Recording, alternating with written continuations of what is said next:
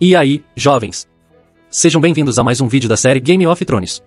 Hoje, vamos falar sobre um dos personagens mais controversos e escandalosos de toda a série em Aegon IV Targaryen, o Indigno. Se vocês achavam que os personagens de Game of Thrones já eram complicados o suficiente, preparem-se para conhecer um rei que levou a bagunça para outro nível. Aegon IV foi um verdadeiro mestre em criar confusão, intrigas e escândalos, e sua vida amorosa foi tão complexa que faria até mesmo Jon Snow se perder nas contas de quantos filhos tem. Mas, além das suas histórias amorosas, Aegon IV teve um reinado marcado por traições e guerras civis, que tiveram um impacto duradouro sobre o futuro de Westeros. E é por isso que hoje vamos falar sobre as suas habilidades, poderes e como ele se tornou um personagem tão importante na história de Game of Thrones. Então, se vocês estão prontos para mergulhar em mais um episódio dessa saga épica, se preparem para conhecer um rei que foi tão indigno que até mesmo os Lannisters olhariam para ele e diriam nossa, que cara sem noção. Vamos lá! E história e bibliografia. Tá preparado para mergulhar fundo na história de Aegon IV Targaryen? Então senta aí, pega uma taça de vinho e vamos nessa! Aegon IV nasceu em 135 AC, filho do rei Viserys II Targaryen. Desde pequeno, ele já mostrava sinais de que não seria um dos personagens mais pacíficos e equilibrados da série. Dizem que ele tinha uma queda por brincadeiras perigosas, como pular de alturas perigosas e fazer apostas arriscadas. Eu já disse que ele era meio sem noção, né? Mas, apesar de seus comportamentos imprudentes, Aegon IV acabou se tornando rei de Westeros aos 27 anos. E, bem, o reinado dele não foi exatamente uma era de ouro para o reino. Em vez disso, foi marcado por escândalos, intrigas e traições. Uma das histórias mais famosas sobre Aegon IV é a da espada Blackfyre. A lenda diz que o rei deu a espada para seu filho bastardo, Daemon Blackfyre, em vez de deixá-la para seu filho legítimo, Daeron II Targaryen. Isso gerou uma revolta conhecida como a Rebelião Blackfyre, que durou quase 30 anos. E, bem, as coisas só pioraram a partir daí. A Aegon IV teve várias amantes ao longo dos anos, incluindo suas próprias irmãs. E isso é só o começo das suas loucuras amorosas. Ele é o pai biológico de nove filhos bastardos, conhecidos como os Grandes Bastardos de Aegon IV, eles tiveram um papel importante na história de Westeros, e muitos deles se tornaram personagens importantes na série. Mas, apesar de todas as suas falhas e escândalos, Aegon IV não era um rei fraco ou incompetente. Na verdade, ele era um estrategista astuto e ambicioso. Ele era conhecido por sua habilidade em manipular as pessoas e criar alianças. No entanto, suas ações também foram motivadas por sua ganância e desejo de poder. Além disso, Aegon IV tinha uma característica marcante em ele era um homem muito alto e forte, o que lhe rendeu o apelido de Aegon, o Alto. E ele usava essa força para intimidar e subjugar seus adversários.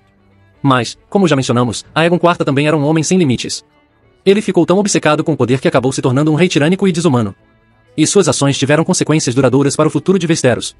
Enfim, a história de Aegon IV é uma mistura de tragédia, loucura e escândalos amorosos. Ele foi um personagem controverso e complexo na história de Westeros, e suas ações tiveram um impacto duradouro sobre o futuro dos Sete Reinos. Poderes e habilidades. Agora é hora de falarmos sobre os poderes e habilidades de Aegon IV Targaryen. E, bem, pode ser um pouco difícil encontrar algo de positivo para falar sobre esse cara, mas vamos tentar.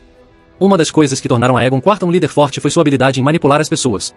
Ele era um mestre em criar alianças e jogar uns contra os outros. Ele sabia como usar sua presença imponente e sua retórica afiada para convencer as pessoas a segui-lo. Mas, claro, essa habilidade também foi usada para fins menos nobres. Aegon IV usou sua capacidade de manipular as pessoas para se beneficiar, muitas vezes à custa de outros. Ele não se importava em quem pisava para chegar ao topo. Além disso, Aegon IV era um guerreiro habilidoso.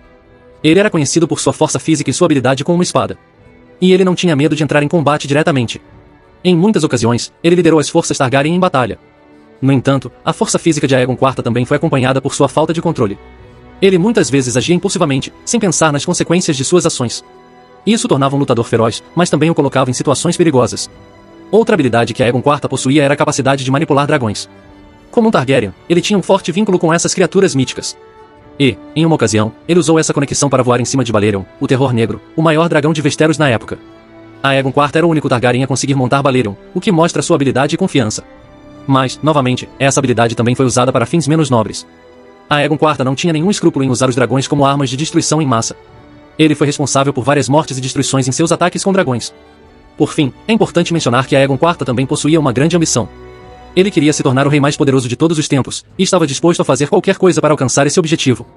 Isso tornava um líder determinado e implacável, mas também o tornava perigoso e imprevisível. Em resumo, as habilidades de Aegon IV incluíam sua capacidade de manipular as pessoas, sua força física e habilidade de luta, sua conexão com dragões e sua grande ambição. Mas, infelizmente, essas habilidades foram frequentemente usadas para fins egoístas e destrutivos. Conclusão.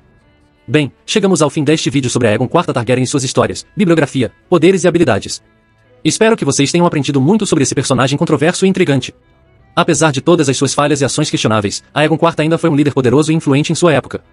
Ele deixou um legado duradouro na história de Westeros e é lembrado até hoje por suas ações e consequências. Mas, é claro, é importante lembrar que nem todos os líderes são perfeitos e que eles têm seus próprios defeitos e falhas. O importante é aprendermos com a história e buscar sempre nos tornarmos melhores pessoas e líderes. E com isso, eu quero concluir este vídeo com um convite para que vocês se inscrevam no meu canal do YouTube e não percam nenhum dos próximos vídeos. Aqui vocês encontrarão mais conteúdo divertido e informativo sobre Game of Thrones e outros assuntos interessantes. Então, não percam tempo e se inscrevam agora mesmo. E lembrem-se, a história está sempre em constante mudança e evolução, e cabe a nós aprendermos com ela e moldarmos nosso futuro. Até a próxima!